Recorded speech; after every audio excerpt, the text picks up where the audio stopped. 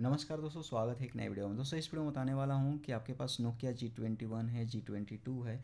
आप wake up notification display को किस तरह से रिमूव कर सकते हो या टर्न ऑफ़ कर सकते हो? जब भी नोटिफिकेशन आता है, आपका डिस्प्ले जल जाता है। इससे बैटरी का कंजप्शन बहुत ज़्यादा होता है। तो इसके लिए मोबाइल के सेटिंग पे चले जाना है और सेटिंग पे जाने के बाद आपको ऊपर की तरफ़ स्क्रॉल करने पर नीचे डिस्प्ले का ऑप्शन मिलेगा। इस पर टाइप कर लेना है।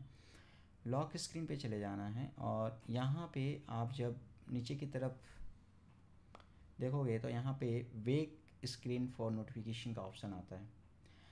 अब यहाँ पे मैंने ऑफ़ कर दिया है। तो जब भी नोटिफिकेशन आएगा, आवाज़ मिलेगा, लेकिन डिस्प्ले ऑन नहीं होगा। तो बैटरी का कंजप्शन बच गया आपका।